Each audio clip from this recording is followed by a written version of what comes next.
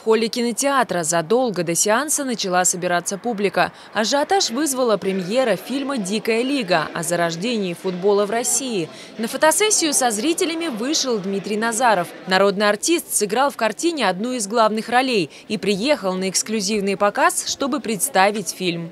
Я думал о других веках нашего футбола, победе на чемпионате Европы, о победах на Олимпийских играх. Вот это были вехи, вот это были страницы, которые начались вот здесь, с этого фильма, когда кулачные бои каким-то образом усилиями вот этого человека, не меня, а моего персонажа Балашова, превратились в эту азартнейшую игру с кожаным э, значит, пузырем, как я его называю.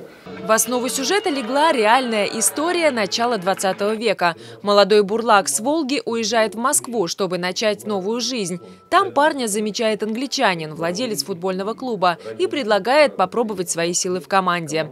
Иностранные игроки новичка не приняли, тогда он и решил собрать первую российскую народную команду. Посмотреть кино о своих предшественниках приехали футболисты клуба «Химки» вместе со своим тренером. Всегда приятно, когда снимают фильмы о футболе, о личностях, а когда это еще и проникнуто сложной судьбой а, и историей становления и рождения футбола в России, всегда приятно.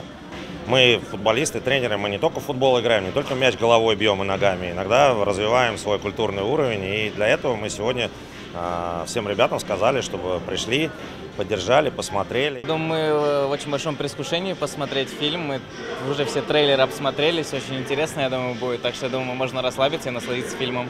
Интересно посмотреть на своих, так скажем, соплеменников, как они тоже сыграли, как это ну, вообще на большом экране выглядит. Так что очень интересно. В этой картине мир кино слился в единое целое с миром спортивным. Наравне с именитыми актерами Владимиром Яглычем, Иваном Охлобыстиным, Олесей Судзиловской в фильме снялись футболисты из сборной России – Артем Дзюба, Алексей Миранчук и Роман Зобнин. В широкий прокат «Дикая лига» выйдет 24 октября.